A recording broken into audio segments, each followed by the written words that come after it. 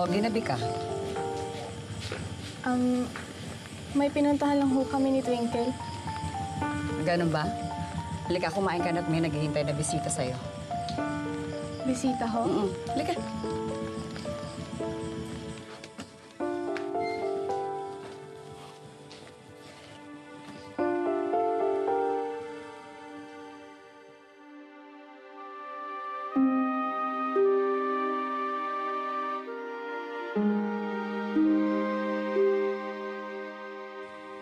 Bakit ganun si Isabel? Eh, ganun talaga siya eh. Grade 3 pa lang, tumatakas na siya sa school. Eh, bakit siya ganun? Hmm, marami siyang dahilan. Basta ganun talaga yung best friend kong yun. Pag may naisip gawin, ako fight. Desidido at porsigido talaga siya. Eh, nasa naman yung parents niya? Yung nanay niya, OFW sa Saudi. Eh, yung tatay niya? Ayan. Yan ang dahilan kung ba't nagkakaganyan si Isabel. Eh, bakit naman? Nasaan siya? Tanging Diyos lang nakakaalam. Di ba, God? Tumakas ka sa eskwelahan para lang pumunta sa palengke. Nakita ho daw ni Twinkle si tatay. Ano pa bang hinahabol mo sa kanya? Ha? La, bakit ho ako iniwan ni tatay nung sanggol ako? Bakit ho galit na galit si nanay sa kanya para sabihin na patay na siya? Pagkatapos po ng walong taon, bumalik siya. Tapos pinaasa po yan na buo tayo. Tapos magpapakasal lang po pala siya sa iba. Sorry, Hula. Nabigla lang ho ako. Hindi na humuulit. Sabel.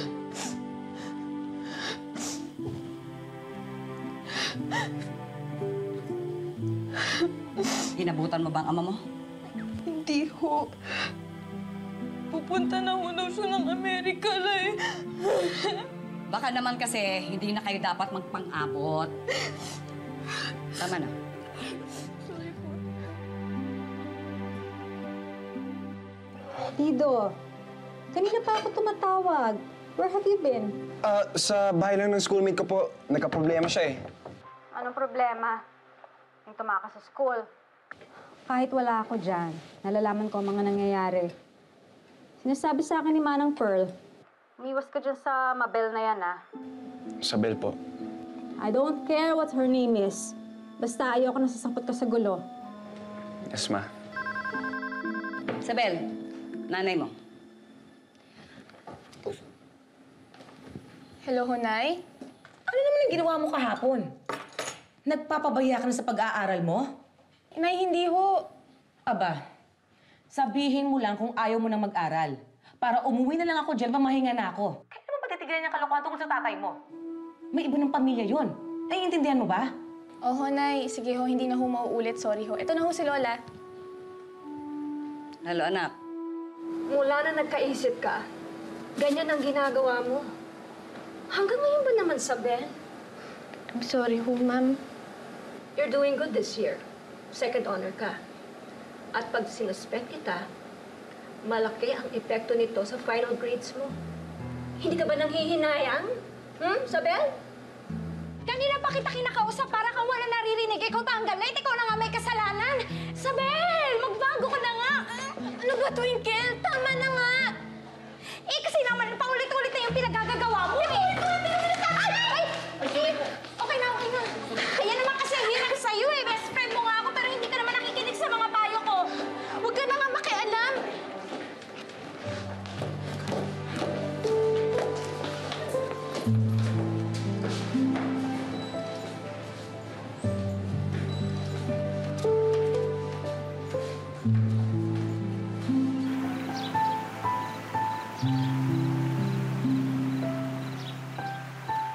Mag-isa na lang si Isabel sa may ilog. Lapitan mo na. Ayoko nga. Mukhang mainit pa ang ulo niya. Eh baka awayin pa niya ako. Ano ka ba? Nandyan ka na eh. Lapitan mo na. Sige na.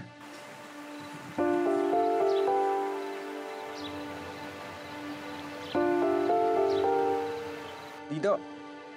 Hello.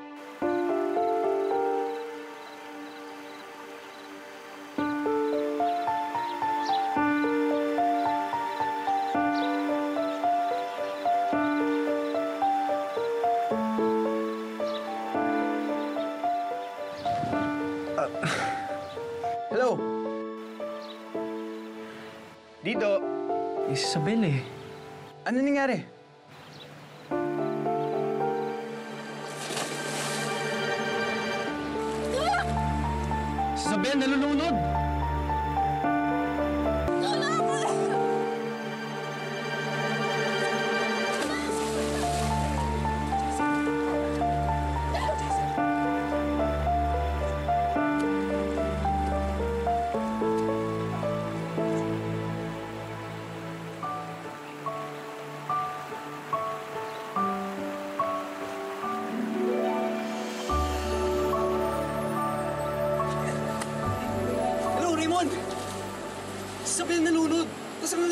Malay. Anong gagawin ko? I-mouth to mouth mo na.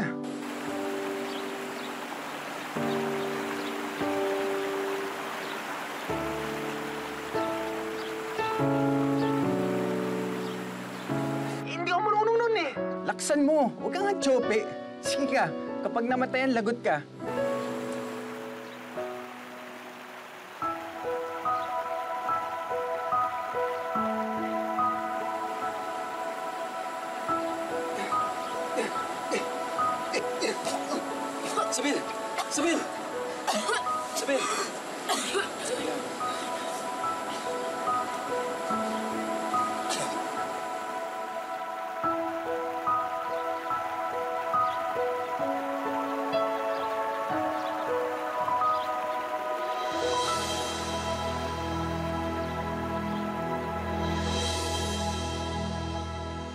Ah, Isabel! Isabel! Ah, kamusta ka na? Ano ginagawa mo dito? Ah, buko lang katay, pinapabigay ni Lola. Salamat daw. Sabihin mo sa kanya, salamat din. Ah, o, o nga pala, kumusta na yung pulikat mo? Okay naman. Sige ah, una na ako. Ah, S- Isabel, ah, ah, ah, gusto mo magmerienda nito? Hindi na. Marami naman kaming ganyan sa bahay. Ah, okay. Salamat. Sige. Ah, Isabel, Isabel. Ah, swimming tayo. Ah, hindi na. Madami pa kasi akong gagawin eh. Sige. Sige, bye.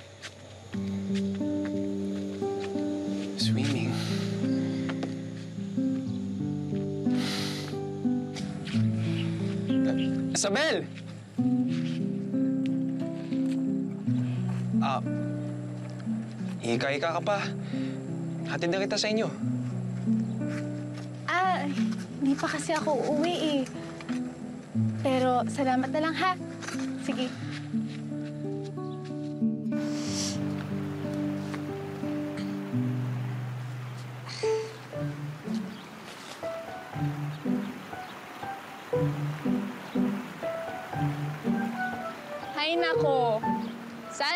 Sinabi mo kanina kung gusto mo mamasyal. Hindi yung nagtatago-tago ka dyan. Tago pa. Eh, nag-alala lang naman ako eh. Baka kasi, ano pang mangyayari sa'yo. Kaya ko yung sarili ko, no? Talaga? Oo. Tingnan mo, tingnan. Mm, oo, oo, oo, oo. Eh, bakit kahapon nalunod ka? Eh, kasi nga napulikat ako, kaya ako nalunod. Napulikat ka na. Tapos tumayib ka pa sa tubig? Ganon talaga ako. Dapat, nilalabanan yung sakit. Sa buhay dapat ganyan. Dapat matapang ka, nilalabanan mo yung mga ganyang bagay. Dapat. Ang Diyos ang pinakamalakas sa buhay natin. The Lord is my life and salvation. Whom shall I fear? The Lord is the stronghold of my life. Whom shall I be afraid of? Psalm chapter 27, verse 1. Bang! Kabisado, ah. Alam mo, kahit anong Bible verse, itanong mo sa akin. Kabisado ko yan. Eh, bata pa lang ako. Yan ang tinulong ng mama sa akin. Magpapari ka ba? Uy! Twinkle! Twinkle! Bili mo sulat ka about forgiveness. Ang, kahit, kahit ano? Oo, kahit ano. O ano?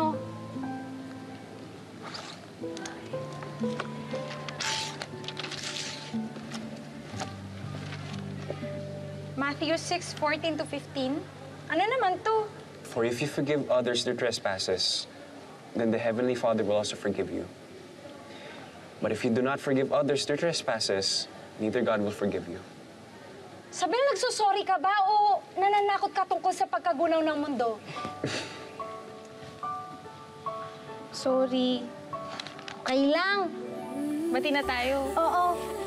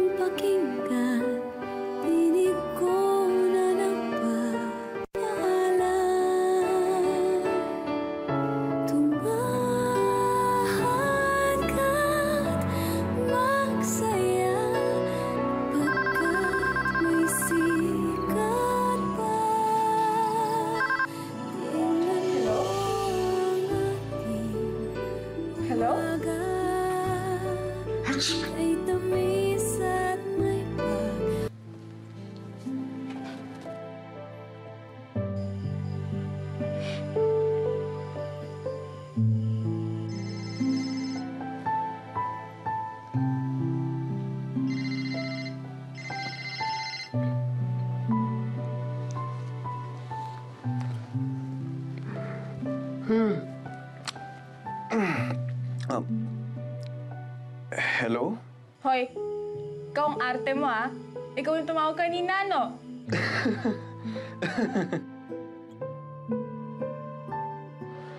Twinkle! Dito!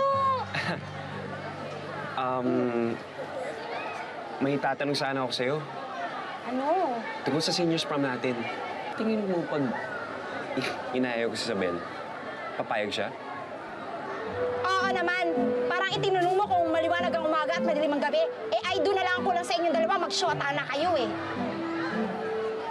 Oy, Isabel! Partner daw kayo ni dito sa JS Prom. Umuo na ako. Huwag ka na tatanggi, ha? Ha? Salamat ha, sinira mo yung moment. Oh, you're welcome! Um, sorry, excuse me. Hello, Ma? Tido, kamusta na? Um, okay naman po. Kailan ang final exams? Sa March po. Eh, ang graduation. Second week of April. May prom kayo? Meron po. Attend ka. Sana. Nandun kasi lahat eh. Three months ka lang naman dyan. Wala ka namang ka-close. Huwag ka nang pumunta. Ma, please? Iti-treat ka na lang namin ng papa mo ng trip to Rome and the Holy Land, okay? Bye.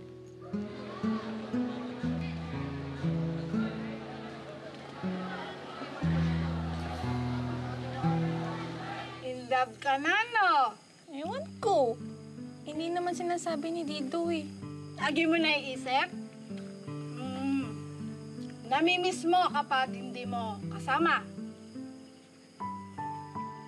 Napapanaginipan mo? Yung naiisip mo paano kung maging Miss Isabel Asuncion de Dios ka? Hoy! Twinkle lang, OA mo. OA ba yun? Ikaw ang OA, no? Nakita ko kaya sa notebook mo. Tinitingnan mo yung notebook ko? Oo naman, nangungopia ako ng assignment. Nangangopia ka. Ikaw talaga lagi mo na tinitingnan yung notebook ko. Friends naman tayo, di ba? Isabel? Ay, La, bakit po? Oh, Hello po, Lola. oo. Ayan, isukat mo kung kasya sa'yo. Ano yan? Ay lang, ganda ho. Ganda? Bumili ko kayo ng bago? Aba, oo naman. Kasi naman eh, ayoko naman magpambukang busabos ang apo ko sa prom, no? At saka alam mo, kasi matataas ang mga grades mo. At saka, mabait si Dito. Wow, wow, wow! Tatlong buwan ka na dyan sa Santa Elena. Ano ka ba? Ang bagal mo naman. Oo, sige na. Hindi ako katulad mo. Bolerong manyakis. Hoy, Tol. Basta, huwag ka madudulas kay Mama. Sabi ko sa kanya, hindi ako attend ng prom. Oo, sige. Ako pa. Congrats, Tol, ah. Para saan? Wala, na nagiging normal ka ng tao. Ito kasi ang first time na nagsinungaling ka kay Mama. At ito rin ang first time na ang gusto mo yung masusunod. Siya yung gusto ni Mama, di ba?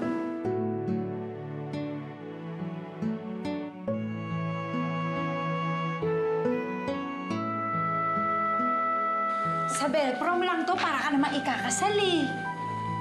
Eh, sandali lang. O bakit? Eh, kasi parang... Parang iba yung nararamdaman ko eh. Ano?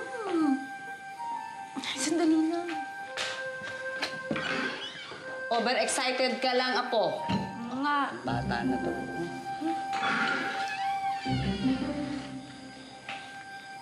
La?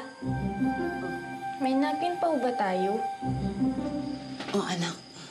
Ginawan kita ng pasador. La, hindi na usong pasador ngayon. Mas nakakatakot po gumamit nito. Baka pumatagusan ako. Kasi naman kung kailang importante ang araw mo, ngayon pa dumating yan eh. Nagpapaalala lang yan na dalaga ka na. Kaya mo na mabuntis. La naman! Basta huwag kang uuwi ng buntis, ha? Sabel! Sabel, andito na si Dido. Dali. Bilisan mo.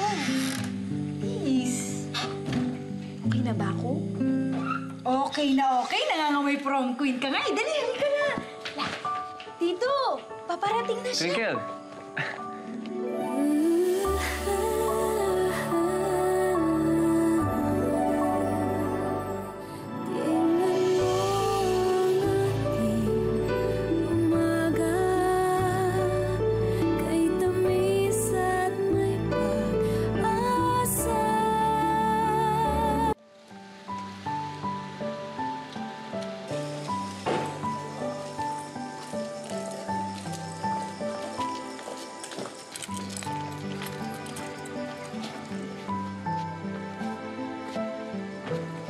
Isabel, ang ganda-ganda mo talaga.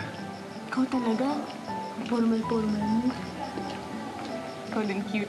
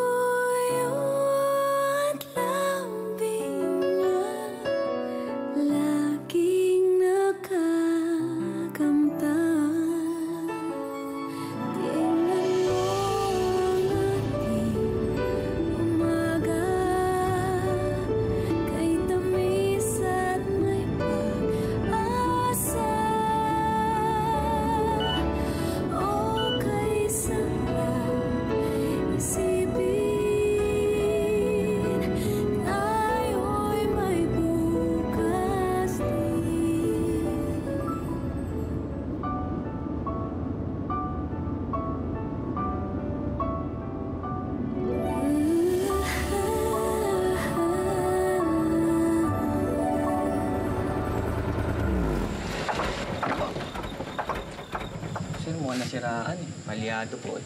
Ha? Ganun ba? Eh, baka kailangan mo humingi ng tulong. Sige po, hanap po ako ng mekaniko.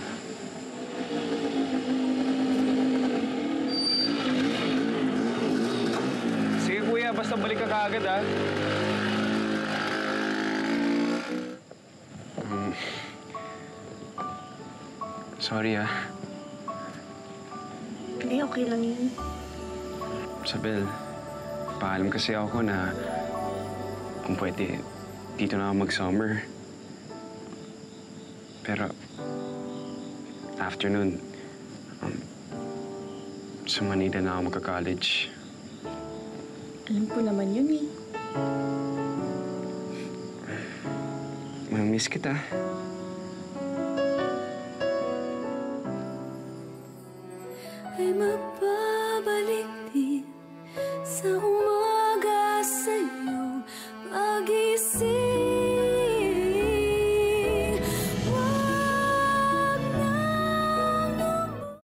Kapag na-miss mo, pwedeng balikan. Pwedeng panoorin ang videos at playlists na gusto mo. Like, comment, at ishare ang videos kasama ng lumalaki nating pamilya sa online world. Kahit kailan, kahit saan pa. Forever tayong kapamilya. Kapamilya on